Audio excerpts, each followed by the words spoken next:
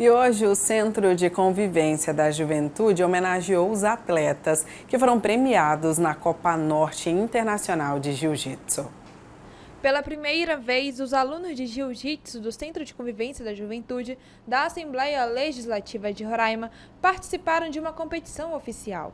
35 alunos conquistaram medalhas na Copa Norte Internacional de Jiu-Jitsu em diferentes modalidades. E para homenageá-los, o Centro de Convivência da Juventude reuniu os pais desses alunos e entregou certificados para os pequenos atletas. Hoje é um dia festivo aqui para a gente, da Superintendência de Programas Especiais, né, por meio do Centro da Juventude. Nós estamos realizando uma singela homenagem aos atletas que foram vitoriosos do Campeonato Norte Internacional de Jiu-Jitsu, realizado agora no mês de outubro. E aí a gente fez uma linda homenagem aqui para todos os atletas, para que eles pudessem, além de serem incentivados, também serem reconhecidos por suas conquistas.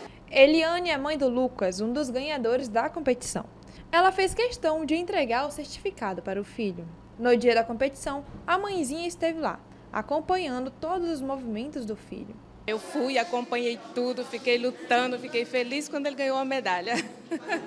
Segundo ela, a prática do jiu-jitsu tem ajudado o pequeno. Eu me sinto muito feliz e satisfatória, porque ele melhora na escola, ele tem mais atenção em casa, é uma criança que não responde, é obediente. Eu sinto muito feliz. Ao todo, 90 alunos participaram do campeonato organizado pela Federação de Jiu-Jitsu de Roraima. Segundo o professor Edmar, conhecido como Edinho, o resultado final foi positivo. O centro da juventude é, se destacou, foi assim superou nossas expectativas de medalhas, entendeu? Foi muito bom, apesar de pouco tempo a gente está à frente, né, da, dessa, desse projeto, então foi muito bom, entendeu? Superou todas as nossas expectativas. O jiu-jitsu é uma das atividades ofertadas de forma gratuita pelo Centro de Convivência da Juventude.